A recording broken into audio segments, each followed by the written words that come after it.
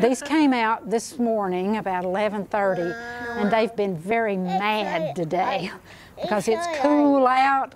If former English teacher Linda Rosardi were to be graded on her knowledge of honeybees, she would receive more than just B plus. Saddest thing right now is that East Tennessee lost 70% of our bees this last spring and winter and 65% the year before.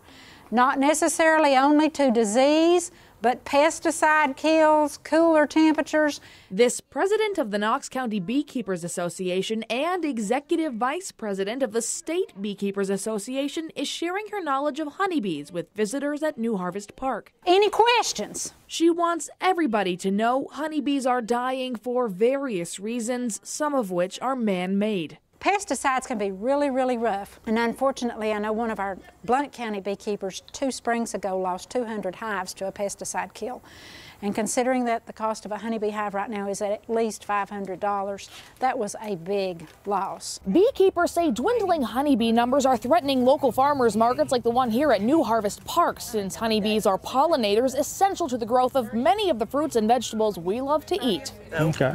Ricky Bailey is selling honey at the farmers market and has been a beekeeper for more than 15 years. It's very hard to stay in business if you're losing a third to a half of your inventory every year. He says one one way people can help is by becoming beekeepers themselves. I'm not saying have uh, 15 hives in your backyard, but if you have one or two, every little bit helps.